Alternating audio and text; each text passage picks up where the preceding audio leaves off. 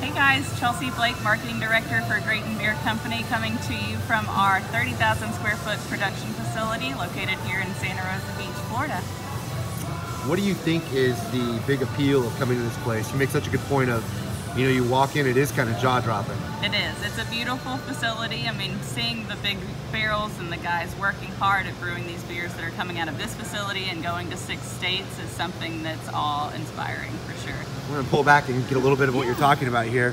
What are people looking at here? What is what is this? Actually? So all of these are barrels. I mean, they range in size from 30, 60, 90, and then in the back we have Big John, which is our largest barrel. So Big John is usually home to our 30A Beach Blonde, which is our most popular beer. It's massive. Everybody's heard of that one. Right, everyone's heard of that one. But the others house our year-round styles that we brew here um, that are available in our six-state distribution footprint.